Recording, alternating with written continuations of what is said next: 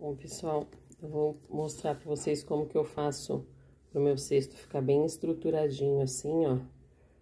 Eu trabalho com fio conduzido.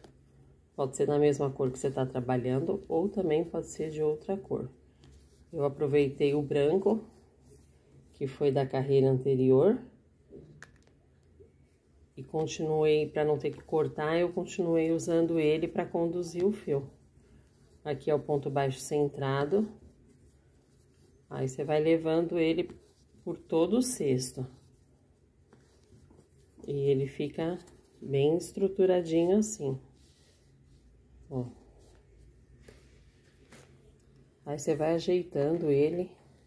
Ó como que fica. Bem estruturado, ó. Aqui vai ser um porta-fralda.